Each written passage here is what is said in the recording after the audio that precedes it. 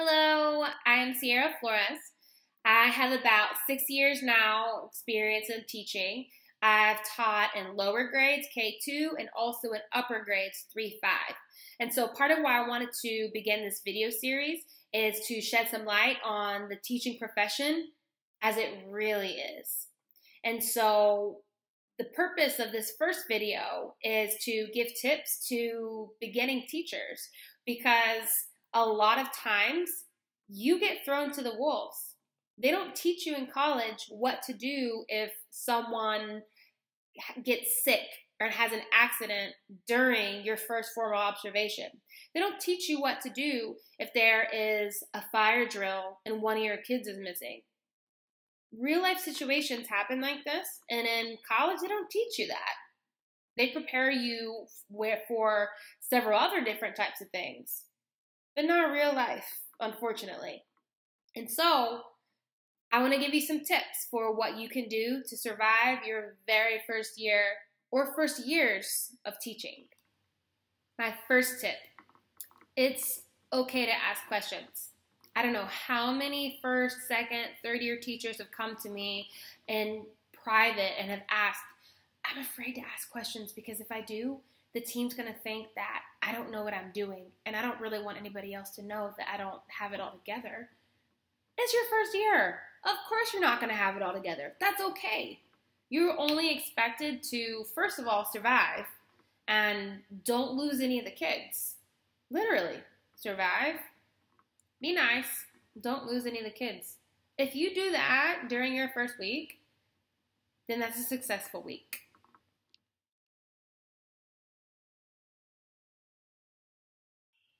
The next thing, number two, it's okay to not have it all together yet.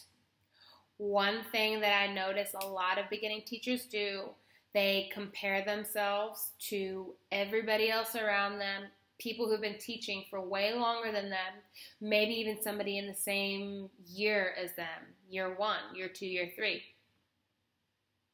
They might act like they have it all together, but guess what?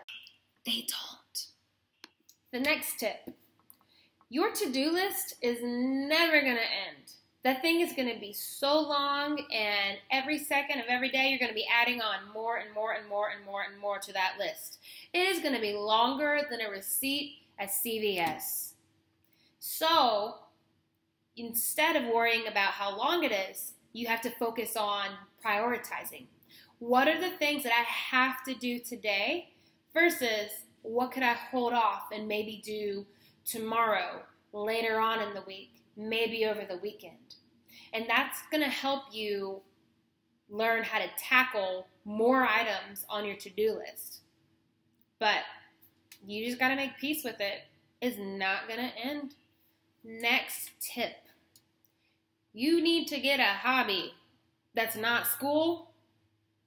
Looking at school Instagrams, looking at teacher Twitters, looking up Pinterest boards of perfectly Pinterested classrooms. You have to have something to do that's fun, that's mindless, that's not even school related. If you don't, then you're going to end up facing something called burnout. And that's when you get to the point to where you don't even want to come to school.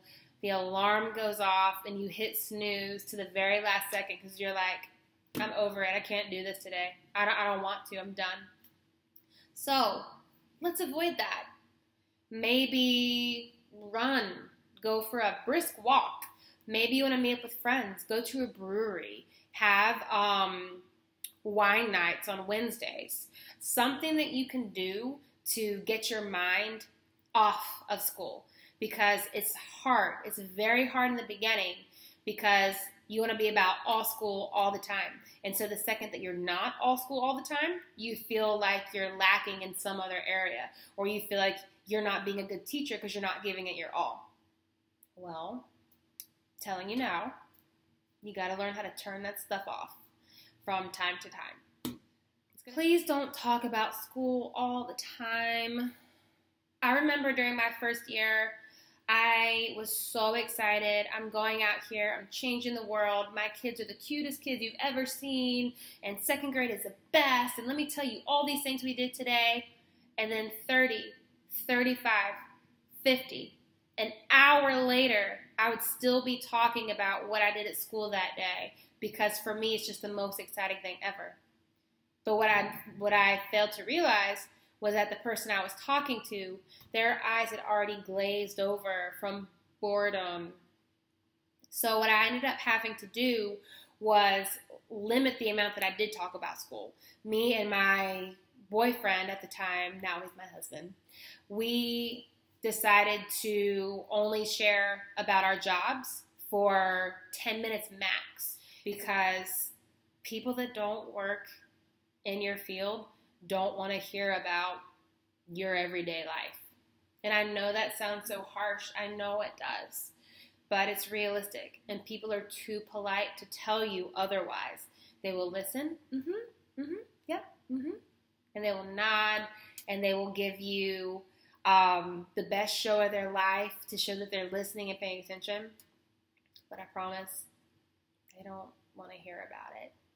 Whenever you hang out with your teacher friends and your significant others are around, just know ahead of time when teachers get with teachers, they will talk about teachers, talk about teaching, school, every possible thing. And it's very hard to get a teacher to stop talking about school. It's very hard.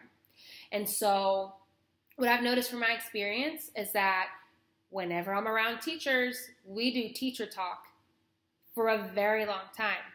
And then if I take a break from that and I would look around, I would see all the husbands, the girlfriends, the wives, everyone around just so bored, just waiting for an out, some way to leave the table to go get a drink, or somebody else just dying to start a new topic of conversation. And so what so whenever you're hanging out with your non-teacher friends or if you're with teachers and significant others, please try your best not to let teaching dominate the conversation. So one of my biggest tips, and this is hard for me, I still struggle with this today. Do not, do not, do not, do not partake in gossip. I know from experience how easy it is to get swept up in, ooh, did you see what she did on Facebook over the weekend? Did you see her Insta story? Oh, look at what she's wearing today. Can you believe she taught that lesson? I taught that to my kids last year. They're in a totally different grade now. Why is she still teaching that? It's very, very easy to get swept up in someone else's drama. But I'm telling you now, if you're in a situation and people are talking about other teachers around you, it's better for you to find a way to excuse yourself. Because even if you don't say anything, you're there and you heard the conversation and your name is automatically associated with that. And it becomes, even though you didn't say anything, oh, well, she was there. She was right there whenever they were talking about you. So then, because you didn't leave, now you're a part of this swirling mess of drama and you don't want to get swept up in that. Make it a habit early on not to talk about someone, but to talk to them instead. Even if it's an uncomfortable conversation, so it's better for you to just talk to them directly instead of talking about them, complaining about them, because I promise you, it'll get around. And you're not going to want it when it comes back around to you, I promise. So, don't partake in drama. Don't be a gossip girl. On the topic of planning meetings, a lot of times I've heard newer teachers say, I don't feel comfortable speaking up in planning because I'm new. I've only been doing this for like six months. Some of these people have been doing it for 10 years. What do I know? What can I really bring to the table that she doesn't know? A lot you bring a lot to the table. You're fresh out of college. You're fresh out of lateral entry from the field that you just came from. And there's a lot that you know from your life experiences, from your student teaching placement, that you know that you could bring to the table that we probably didn't even think about. Because some of us are literal dinosaurs in education and you're fresh out. And so you have really great ideas and they deserve to be shared. So please, If you have a thought, speak up, say it. We love it whenever you get involved and whenever new teachers participate in the conversation. You have to find a teacher buddy because there are going to be some days when you are going to have the worst day imaginable. Every single lesson goes wrong. All the behavior issues you have in your class, they gang up on you in one day, in one moment, and just drive you to tears. Who are you going to turn to? You can't stop the lesson and say, Hang on, kids, watch yourselves. I'm going to go to the broom closet and cry. I may have done that before. you got to find somebody you can cry to, somebody you can vent to, somebody that you can just let it all out to. Because you're going to try to talk to your significant other and they're going to try their best to help you, but it's just not the same. So, one of my last tips is to develop a teacher crush. And so, what does that mean? It does not mean go find a hot teacher down the hall and ask them out for dinner tomorrow night. That's not what that means.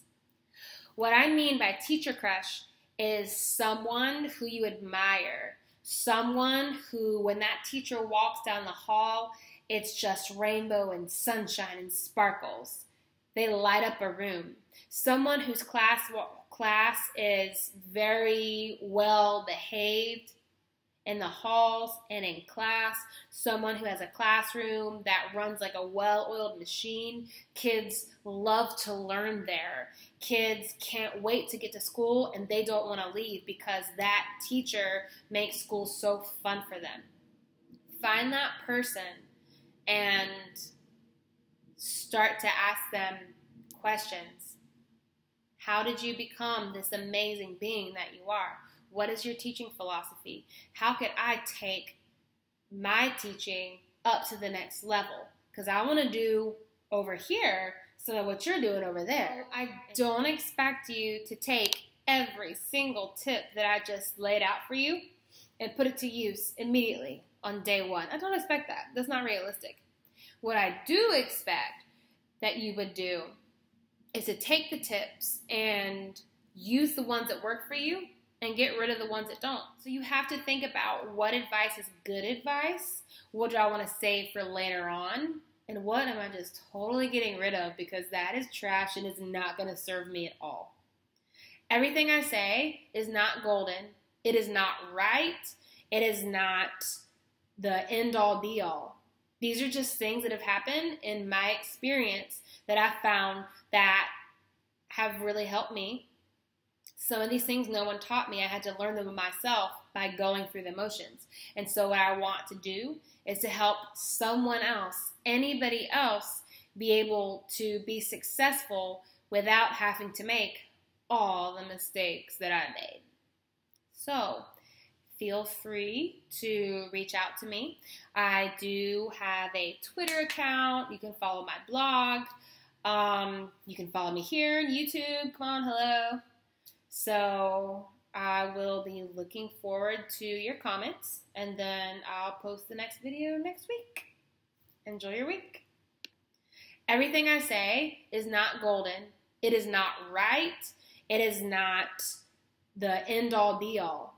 These are just things that have happened in my experience that I found that have really helped me some of these things no one taught me. I had to learn them myself by going through the motions. And so, what I want to do is to help someone else, anybody else, be able to be successful without having to make all the mistakes that I made. So, feel free to reach out to me. I do have a Twitter account. You can follow my blog. Um, you can follow me here on YouTube. Come on, hello. So I will be looking forward to your comments and then I'll post the next video next week.